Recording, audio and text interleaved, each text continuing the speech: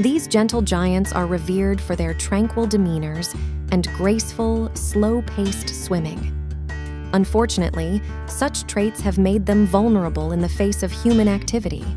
They were listed as endangered in 1973, primarily due to deaths from watercraft collisions and loss of warm water habitats, which are essential for their survival during winter.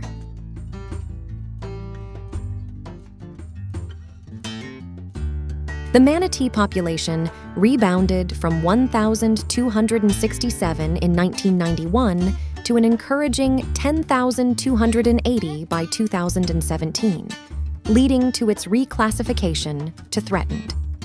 Despite this progress, challenges persist. The year 2021 witnessed a grim 937 manatee deaths, a full 10% of the population. These deaths were mostly a result of starvation or illness due to continually degraded habitat quality.